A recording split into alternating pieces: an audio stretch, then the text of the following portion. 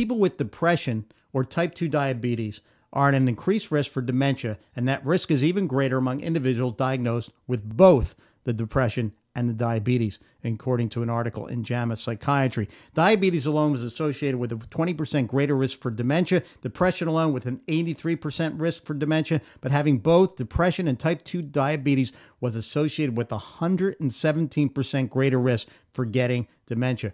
The risk for dementia actually appears to be even greater among those study participants who are younger than 65. Diabetes is obviously a controllable condition in many people, so that's a good thing. Depression, on the other hand, is something we're going to have to work on, but there are med- meds for that as well. So if we need to uh, obviously solve those problems and hopefully uh, stem off some dementia.